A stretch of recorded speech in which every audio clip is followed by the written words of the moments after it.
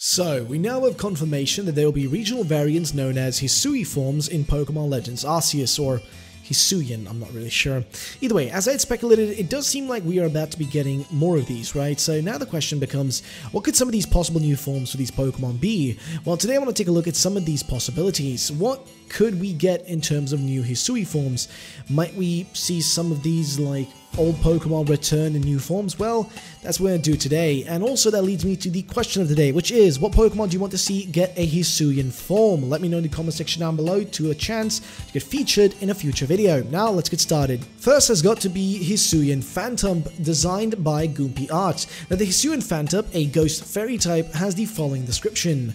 Sightings of this benevolent spirit were said to signify the coming of spring.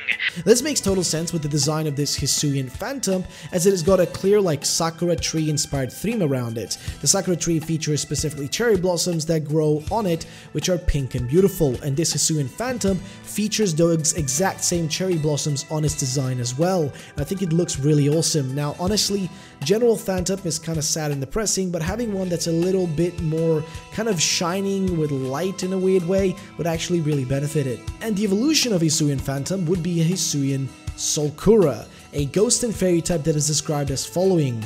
These cherry spirits performed dances that revitalized those nearby.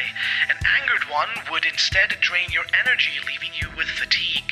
This, as an evolution, adds that perfect amount of creepiness but also grace to the design of the Phantump. The Soulkura has a much larger cherry blossom theme on it, and just cherry blossoms in general on it, and its description is that of a Pokemon that's clearly well connected to the spiritual realm, and it's pretty clear that it's a creature that you shouldn't anger, as though it's only really a gentle monster that will not attack you unless you get in its way, and it's also kind of a gruesome way for it to, you know, I don't know, drain your energy, it just seems a bit crazy, doesn't it? But it just is like the perfect Pokemon. It's there to revitalize those nearby because, well, it's not evil, so to say. Then we have a design made by Zeta Strokes for a Yamask. Now, this design is for his own feral form, but I also think it would perfectly kind of fit the style of Hisui. Now, first things first, this Yamask has a fighting and ghost typing, and it carries a mask of a Japanese fox or a sort of kitsune mask, so to say. The, the sort of mask you also see on the Anbu Black Ops in Naruto. The mask entry states, his power is sealed in the mask he holds. He wanders the world, growing stronger. Wait for the day when he breaks his curse. Now, I think this is perfect. The typing makes sense also with the mask, since it is based on the Anbu Black Ops mask from Naruto. It makes sense to have that fighting typing on there because, well, they're ninjas, they do fighting with hand to hand combat, and that's usually what the Pokemon with fighting typing tend to do. They tend to do hand to hand combat. So, this design would be perfect, and would love to see what it would look like if it actually broke its curse by maybe, I don't know, breaking the mask. So, we'll see what it would look like then. I'd be very curious to see how that would turn out. The following design is made by the Aussie artist, who basically created a kind of Hisui type form, I would say, design for Drifloon. Now, this Drifloon has a design that makes it into essentially a fire type as well, but also makes it look very similar to a Chinese New Year's lantern. And its evolution, Drifblim, has the same thing going for it, but it just looks a tad bit larger in scale is all, I guess. But overall, with the general theme of the region, it would make sense that perhaps, you know, some Drifloon were back in the day fire types that were used to keep humans warm, but over time, due to the exploitation by humans, these fire and ghost type Drifloons and Drifblims sort of died out and more or less just lost their fire typing, which disappeared for only the ghost typing to remain. And maybe some of the ones that died out actually got the ghost typing that way. Basically, I think it would be really cool to see some form like this for Drifloon as well as Drifblim. I think it would actually look really awesome, and it's a Pokemon that, honestly, man, it is sort of forgotten, and it would be great to see it get a bit of a revitalization, so to say. Then we have a design by Arkana Region on Instagram for Shieldon and Cranidos. He described them as such. In the time in which this new Sinnoh adventure is set, there are still no technologies or genetic engineering to revive fossilized Pokemon. However, invoking the power of Arceus itself, it is possible to awaken the spirits enclosed in the rocks, bringing back these ancient Pokemon in a new peculiar form. Now, I think it would make total sense that this type of thing would happen in Legends Arceus, that there'll be versions of these fossil Pokemon that existed really far back in the day that would look somewhat different from the versions we got in the future of Sinnoh, and they probably looked a lot different in their original ancient past forms. Basically, having a Cranidos uh, as well as a Shieldon that basically just look different back in the Hisui region, right, than the way they look in the future Sinnoh region. And the reason that they look different in the future is because when they're brought back, they're not brought back perfectly. They're brought back in, you know, maybe with some mixed DNA and stuff from other Pokemon to make sure that they're fully complete, which actually would make sense because the feature of bringing back these fossils also comes from actually, you know, Jurassic Park. That's kind of where the concept comes from for these, you know, fossil Pokemon being brought back. And if you remember in that, they actually had to use the DNA of like frogs and stuff to actually recreate those dinosaurs. So it would only make sense then that the Cranidos and the Shieldon that we actually see are not actually the original way these Pokemon looked like back in the day, and they look different than they were supposed to look like, right? They are not the same they used to be.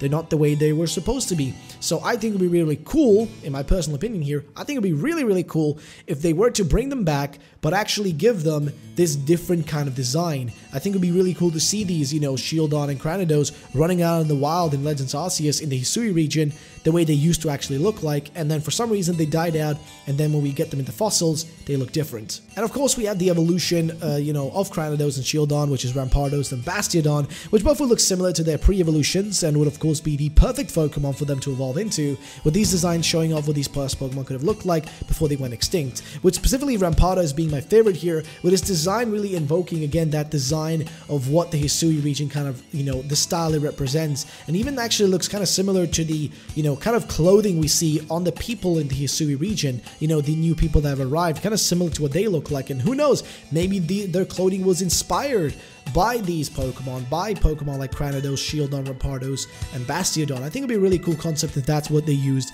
to actually design their clothing. I think it would be really unique and different. And finally, this isn't really a form, but I think you could have an awesome concept for this cute pre-evolution of Tropius called Platini, made by Soy Alexan Lan. It shows what a pre-evolution and new form of Tropius could look like. Now, this to me, honestly, is the most adorable thing ever, and for the longest time, I've sort of been wondering what would a pre-evolution for Tropius actually look like, and honestly, why not give a pre-evolution to it right now? Perhaps a pre-evolution that kind of also possibly died out over the time, you know, over times this thing wasn't necessary anymore because, well, guess what? Tropius just kind of evolved and just remain large at all times and always was Tropius and didn't need its pre-evolution. I think that as a concept would work really well and if there's any time for Game Freak to try out a style like this or an idea like this, this may be the moment for that, right? Legends Arceus is the opportunity to try out weird things like this that have to do with the past, ancient Pokemon, old forms, etc. And also, it's an easy way to introduce new Pokemon instead of actually making brand new Pokemon. Instead, making forms is a better method to be fair. And ladies and gentlemen, that is going to be it for today. And finally, I guess I'm just wondering, guys, what do you think for the question of the day? Is the Pokemon that you want out of all these ones to get a, you know, brand new form, a Hisuian form in Legends Arceus? Let me know in the comment section down below. And thank you again so much for watching. My name has been Ruffled Rowlit, and I will see you all in the next one. Also, make sure to check out all the artists that I, you know, featured today in the link in the description down below to all of them. So go check them out. And yeah, that's it for today. I'll see you all the next time. Peace out and bye bye.